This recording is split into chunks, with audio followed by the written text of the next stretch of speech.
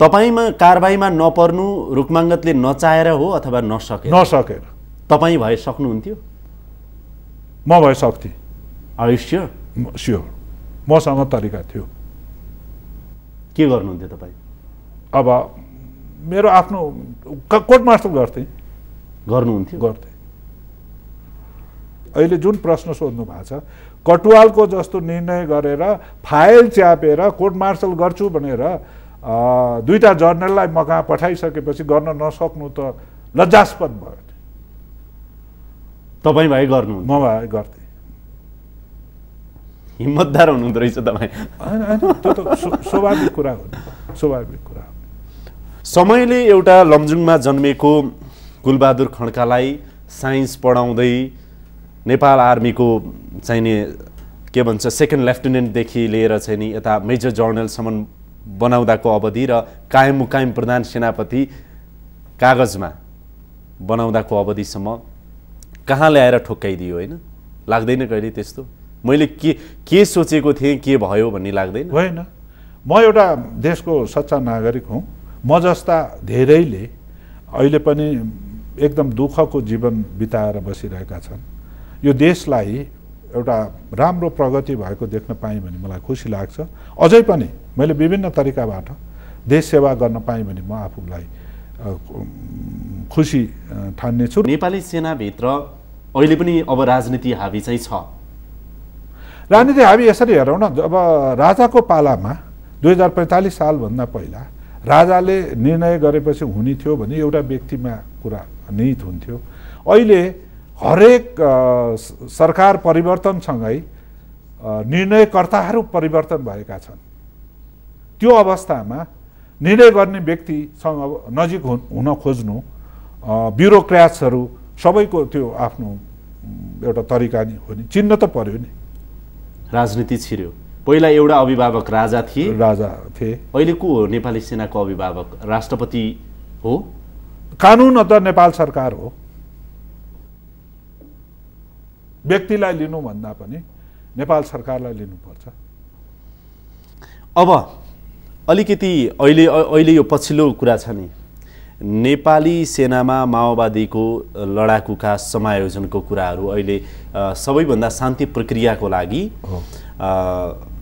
समस्या बनिरहेको यो विषय छ। तपाईँको विचार के छ?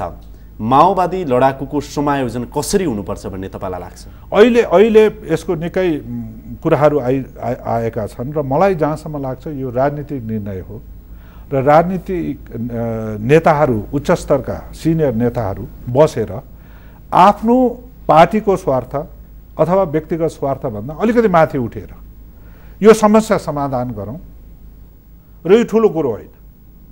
नेपाली सेनाले पनि अहिले सकारात्मक रूपमा दिएको छ। अहिले मैले भने जस्तो सेनाको निर्णय त्यति ठुलो कुरो होइन। रक्षा मन्त्रालय अथवा नेपाल सरकारले निर्णय गरेको खण्डमा। त्यो समग्र कुरा भयो तपाईँको। प्राविधिक कुरा के भन्नुहुन्छ? व्यक्तिगत रूपमा हुनुपर्छ इन्डिभिजुअली अथवा समूहगत रूपमा समायोजन हुनुपर्छ अथवा कहाँ कसरी हुनुपर्छ यसमा कसरी कसरी हेरौँ भने जगदीशजी विभिन्न अप्सन्सहरू छन्। म निर्णयकर्ता होइन र मैले अहिले एउटा यो भने भने म बायस भएको जस्तो हुन्छ। तपाईँको विचार। नेपाली सेनामा यति लामो समय काम गरिसकेको हो। होइन बलाध्यक्ष अथवा कायम मुकायम प्रधान सेनापतिसम्म पनि भइसकेको एउटा व्यक्ति तपाईँ यो बाटो चाहिँ जाँदा ठिक हुन्छ भनेर तपाईँले सुझाउनु पर्यो भने कुन बाटो सुझाउनुहुन्छ? म यसलाई फेरि पनि भन्छु म निर्णयकर्ता भयो भने म निर्णय गरिदिन्छु। तर गर्नुहुन्थ्यो तपाईँ निर्णयकर्ता भएको भए? म अप्सन्स अ- अ- अझै मैले केलाइसकेको छैन। नेपाली राजनीतिको भविष्य तपाईँ के देख्नुहुन्छ?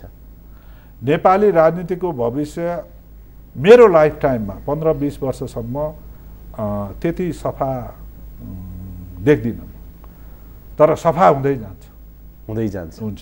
र मैले मैले देखेको चाहिँ यो जुन अब संविधान बनेर चुनाव हुन्छ पहिलो चुनाव त्यसपछि संलिने क्रम धेरै छिटो संलिन सक्छ।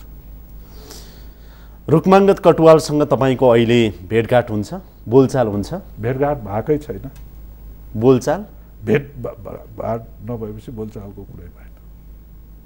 देखादेख चाहिँ हुन्छ कि हुँदैन? एकपल्ट कता होटेलमा देखा। होटेलको फङ्सन्सहरूमा ठुलो फङ्सनहरू कता कता देखिन्छ। तर एक अर्का चाहिँ नजिक भएर संवाद गरिएको छैन। भनेको बोलचाल छैन अहिले? त्यस्तो परिस्थिति आएकै छैन। म सहज रूपमा लिन्छु यसलाई। बोल्न नपर्ने केही पनि कारण छैन। जिन्दगीमा तपाईँ सबैभन्दा तनावमा रहेको समय चाहिँ यो राष्ट्रपति के अरे सेनापति प्रकरणकै बेला हो? त्यो त्यो चाहिँ म बहुतै चिन्तित बन्नुभयो तपाईँ पनि। चिन्तित पनि र अलिकति असहज उसमा। हुनुभयो। त्यसपछि पनि जुन एक खालको दाग लाग्यो अथवा लगाइयो अथवा आलोचना भयो गरियो जे होस् तपाईँमाथि लागेको बादल हट्यो? बादल त्यस्तो लागेको जस्तो मलाई लाग्दैन। आलो आलोचना गर्नेहरू मैले पहिला म, जागिर खाएदेखि नै त्यति सहज परिस्थिति थिएन। मलाई बिचबिचमा निकै व्यक्तिहरूले अनेक लान्छना लगाउँदै आएको व्यक्ति हो। म डह्रो भएर नै आएको हो। अब अहिले पनि यो कुराहरू र अझै मैले भन्नुपर्दा म अझै बढी म, डह्रो भएर आत्मविश्वास साथ अगाडि बढेको बढ्न सकेको जस्तो मलाई लाग्छ। र मैले यो प्रकरणबाट धेरै मित्रहरू कमाएको जस्तो लाग्छ। जुन यहाँले भन्नुभएको छ त्यो चाहिने व्यक्तिगत स्वार्थको कारण र विभिन्न कारणले मलाई एउटा मेरो चरित्र हत्या गर्न खोजिएको छ। खोजिएको थियो। कति व्यक्तिहरूले अर्काले दिएको चस्मा लाएर हेरे हेर्छन् भने त्यसमा मेरो भन्नु केही छैन। जुन बाटो हिँड्नु पर्यो नि हिँडियो नि मैले त्यो बाटो नहिँडेको भए हुने रहेछ भन्ने त लागेको छैन। मैले मैले त आफ्नो ठिक बाटो हिँडेको छु। मैले अहिले अझै पनि म भन्छु मेरो गल्ती केही पनि छैन।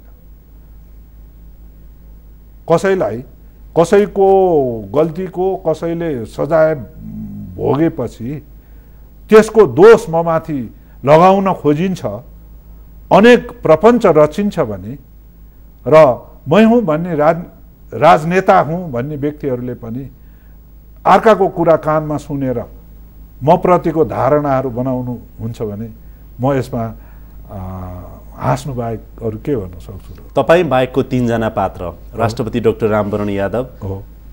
प्रधानमन्त्री प्रचण्ड त्यति बेलाको प्रधान सेनापति कटुवाल त्यति बेलाको। तिनजनालाई छोटोमा तपाईँले भन्नु पऱ्यो भने केही भन्न चाहनुहुन्छ?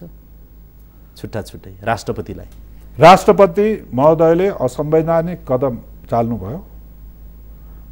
र त्यसमा चाहिने जुन अदालतमा मुद्दा पर्यो त्यसबाट पनि प्रष्ट भएको छ।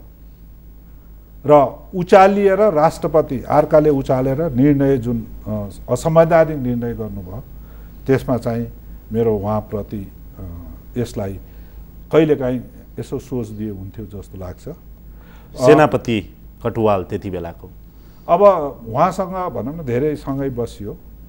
र उहाँलाई चाहिँ म के भन्न चाहन्छु भने उहाँको दिनहरू राम्रोसँग बितोस् र उहाँलाई जुन भित्र कुराहरू आइरहेछ मैले सुन्ने गरेको छु परिवारभित्रबाट पनि उहाँलाई कहिलेकाहीँ यो के गरे भन्ने कुराहरू आइरहेका छन् र उहाँ अलिकति बढी अपर्च्युनिटी खोज्ने मान्छे हो। उहाँले जुन अपर्च्युनिटीहरू पाउनु भएको छैन त्यो उहाँको इच्छाअनुसारको पो- पोस्टहरू पाउँदै पाउनुभयो भने म खुसी हुने थिएँ। अब प्रचण्डलाई? प्रचण्ड त उहाँ त मै मैले यसो हेरेको उहाँको राजनीति हिसाबले उहाँले त जित्नु भएको छ। किनभने पोलिटिकली जुन बसिरहेको भए त्यो बेलामा गभर्मेन्टमा बसिरहेको भए झन् अस्चिलो पर्थ्यो होला। त्यसैले उहाँको त भविष्य म राम्रो देख्छु। आज अब अन्तिम प्रश्न यहाँलाई सोध्छु म। सिधा रूपमा अब तपाईँ राजनीतिमा अथवा विचार आस्थामा लाग्नु पर्यो भने अब कता लाग्नुहुन्छ? मैले अहिलेसम्म राजनीति जाने सोचेको छैन। र अफर आयो भने कुन पार्टी छान्नुहुन्छ? अब ब्लेम ब्लेम नलगाइकन सोधेँ है यहाँलाई मैले। मैले बुझेँ। म म राजनीतिमा गएँ भने त्यो बेलाको अफरको हिसाबले मैले कुनबाट फाइदा राम्रो अफर पाउँछु त्यसमा जान्छु होला। तर म मैले चाहिँ अहिलेसम्म के सोचेको छु भने जगदीशजी म राजनीतिमा जान नपरोस्। कस्तो अपर्च्युनिटी कहाँ आउँछ? अब देश सेवा गर्नको लागि मैले अरू अरू राजनीति बाहेकका अरू अरू सेवाहरू पनि त छन्। हस् त जर साहब अब यहाँले आफ्नो यो समय दिनुभयो। धेरै लामो समयपछि कुरा भयो। सेनापति प्रकरणपछि पहिलो टेलिभिजन इन्टरभ्यू यहाँसँग गर्न पाइयो। एकदमै खुसी लागेको छ। जगदीशजी तपाईँलाई र इमेज च्यानल परिवार सबैलाई मेरो धन्यवाद छ। र श्रोता र दर्शक जुन नागरिक म पनि एक नागरिक हुँ दाजुभाइ दिदीबहिनीहरूले मेरो कुरा सहज रूपमा लिनु होला भन्ने आशा गर्दै म फेरि धन्यवाद दिन्छु। नमस्कार। धन्यवाद। हवस् त यसका साथै आजको कार्यक्रम यहीँ सकिन्छ। कार्यक्रम युनिटका सम्पूर्ण सहकर्मीहरूको साथमा मलाई